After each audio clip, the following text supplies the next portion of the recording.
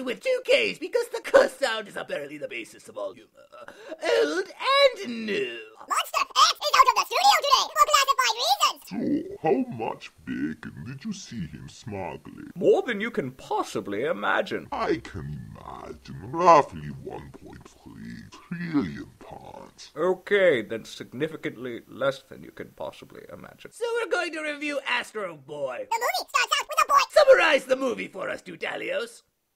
with a boy who ultimately becomes an Astro Boy. And though that would seem like an accurate analysis to the uninformed, it's actually not true. Here's a picture of what I think it would be like if the Beatles rode around in a van solving mysteries. Why is Ringo wearing a collar? Because he is Scooby-Doo. This is proof positive that there can't be two goofy monsters doing these reviews. One monster has to be the straight man, and if I'm the straight man, then very strange things will begin to happen on planet Earth. Imagine yourself on a boat in a river with tangerine trees and marmalade skies. Anyway, Astro Boy was pretty deep. I highly recommend the film. Look, it's the girl with kaleidoscope eyes. Hi, everyone. Ah!